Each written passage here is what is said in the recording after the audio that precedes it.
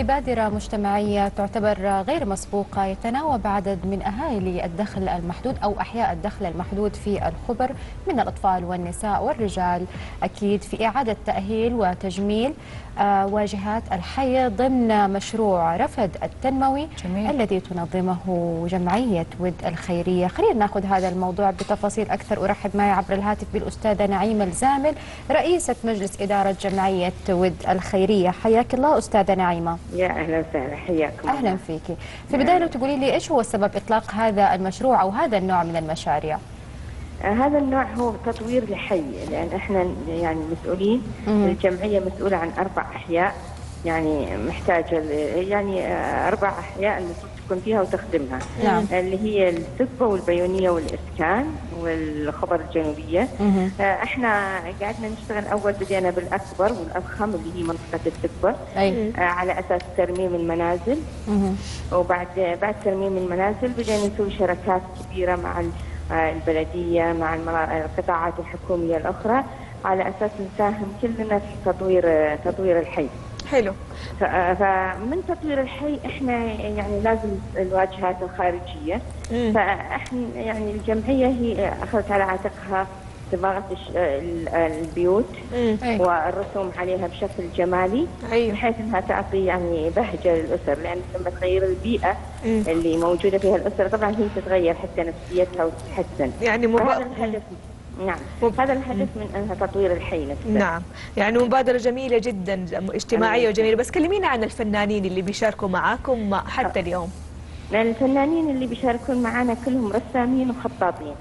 في من فنان تشكيلي وفي آه، آه، فنانين مخت... فنانين رسم عادي وفنان فهم آه، يعني م- آه، ما شاء الله مبدعين. مجموعة من آه، منطقة الخبر في ما شاء الله شباب جايين من منطقة من الجبال ومن رحيمه ومن نفس السقبه ونفس الحي. كلهم هذول مشاركين مبدعين من الشباب شباب شباب وشابات. حلو. جميل. إيش أبرز الفعاليات اللي حتكون مصاحبة لهذه المبادرة أستاذة نعيمة؟ الفعاليات اللي بتكون مصاحبة مع هذه المبادرة راح تكون عن عن البيئة وأهمية الاهتمام بالبيئة وتطوير البيئة وعن كيف أنا أخدم بيئتي بالنسبة للشباب. وبالنسبة للأطفال تعليمهم عن الاهتمام بالبيئة الاهتمام تدوير ال- تدوير ال- الأدوات الأدوات المستهلكة. آه يعني وبعضهم كثير من الأطفال حاطين لهم مشاركة رسم بعد وفي مجموعة من الأطفال بتشارك في الرسم. وشرح أهمية الها... ليش إحنا بنشتغل هنا؟ ما هي الأسباب اللي تخلينا حلو. نشتغل ونطور حينا؟ فعشان يكون الكل متفاعل، أيضا فعلنا المدارس في اليوم الانطلاقة بحيث المدارس كل مدرسة من المدارس التربية والتعليم في منطقة الخبر كلها تقوم تتكلم في ذاك اليوم عن البيئة وأهمية البيئة وأهمية تطوير البيئة المحيطة.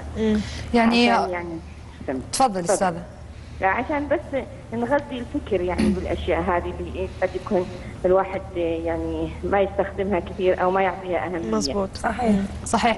أستاذة نعيمة يعني آه، لاحظنا إنه الأشخاص اللي ساهموا في آه، آه، في هذا في هذه المبادرة في في تغيير الحي كانوا من أهالي نفس الحي الحي نفسه وكانوا محدودي الدخل. يعني كان الحي محدود طبعاً، الدخل طبعاً. وقام بالضبط دور الحي التكافل محدود. الاجتماعي والتنمية الاجتماعية في تنمية وتوطين الأشخاص هؤلاء يعني عشان نجعلهم يحبوا الوطن أكثر عشان نجعلهم.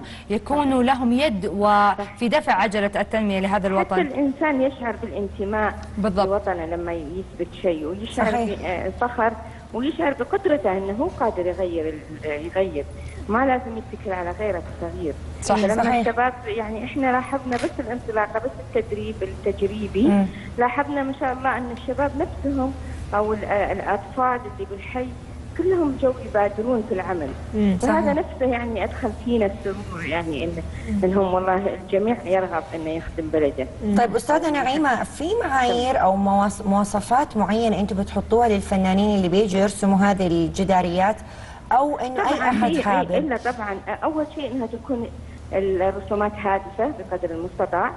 خاصة لما تكون على جدار المدرسة أو على نعم، جدار صحيح. الحديقة أو في أرض الحديقة أن تكون ال- الصور غير غامقة بحيث ما يعني تشعر بالكآبة شوي. أنها تكون يعني ألوانها زاهية بقدر المستطاع. هذه اللي إحنا حطيناها آه، أهم شيء بالنسبة لل- للرسومات. إحنا ما نبغى رسومات ألوان. يعني تضفي للحي آه، شوي نوع من السواد أو من أكيد يعني تبغوا البهجة. أكثر يعني. نبغى البهجة. أكيد. نبغى شعور الحديقة لو قدر الإمكان. يعني شعور يعني الراحة شعور المحبة. حلو. تنطلق من نفس من نفس الرسومات. اي يعني لاحظنا ما شاء الله في بعض البيوت آه، يعني طراز تراثي قديم.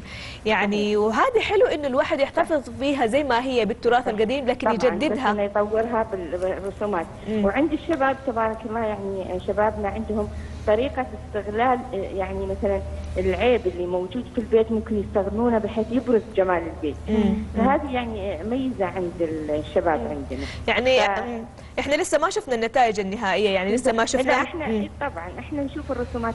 اللي يعرضون الشباب مم. وإن شاء الله يعني متوقع منهم إنهم يجيبون يعني شاء الله. الأشياء هذه طيب أستاذة نعيمة هل التشجير أو يعني الزرع وهذه الشغلات نعرف إنه هي بتعطي روح للحي، هل حتكون من. ضمن التجميل اللي بتعملوه في الأحياء؟ إح- إحنا في عندنا مشروع ثاني كان سابق اللي هو آه، ظل في أي. اللي هو التشجير على الحي فإحنا مشتغلين فيه من قبل من قبل أهمية الزراعة والاهتمام بأنهم يهتمون آه، كل من يغرس غرس يفيده يعني فهذه الأشياء كلها تعلموها الشباب قبل آه، قبل الحملة هذه.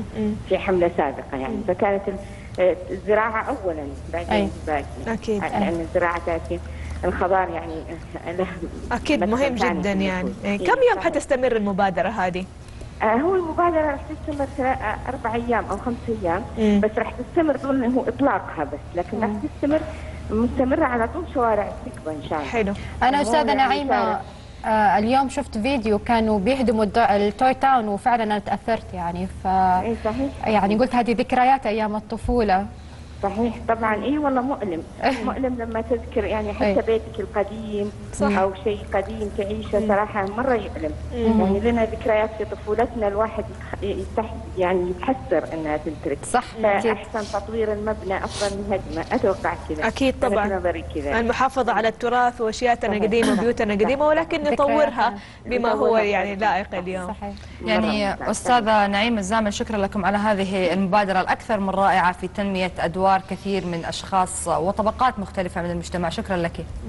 وأكيد إحنا حنفضل متابعين موضوع المبادرة هذه. نبغى نستنى يعني بنشوف إحنا الصور هنا قبل البيوت القديمة الحارة وكذا. نبغى نشوف كيف بعد الرسومات وبعد الألوان كيف حتدخل عليها. المبادرة جدا رائعة. جدا أنتوا جدا تعرفوا رائعة. التويتان مر عليكم ولا لا أنا لسه كنت بسأل غزل هذا الشرقية. أيوه. يعني هذه طبعا كان week كل weekend كنا نقضيه هناك أنا وأخواني. في اليوم؟ شفت فيديو بيهدموه عشان توسع أعتقد شيء زي كذا. حسيت ذكرياتي راحت أيوة. تعورت. تفضلي يا عبير معلش معلش. إن شاء الله نعوضك بذكريات أخرى أجمل وأحلى إن شاء دائماً الله. الجديد والحياة أحلى. قدامك. أكيد. يعني آه، جميل. مشاهدينا إحنا خلصنا حلقتنا اليوم. أكيد بإذن الله هنشوفكم بكرة في نفس الموعد. انتظرونا. تصبحوا على خير